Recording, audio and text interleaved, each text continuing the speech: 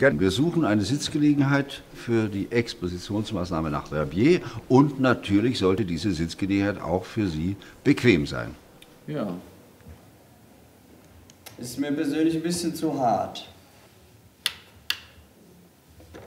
Kann es denn auch moderner sein? Ja, Würde ich vielleicht so durchaus. einen Hocker nehmen. Bitte nicht, bitte, bitte nicht, das ist... Gerd, Hallo?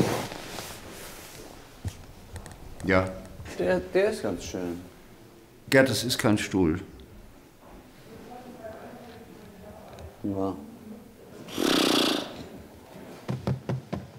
Der ist es. Hanno. Der ist richtig gut. Ha. Oh ja, Ist der von Uri Geller oder was? das ist von Corbusier. Ist funktional, ist bequem. Bequem. Stellen Sie sich doch nicht so an. Ich glaube, das ist für unsere Zwecke ideal.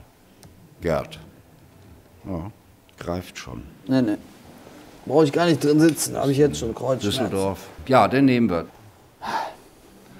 Sehr, sehr schön. Der steht nächsten Donnerstag bei uns in der Praxis.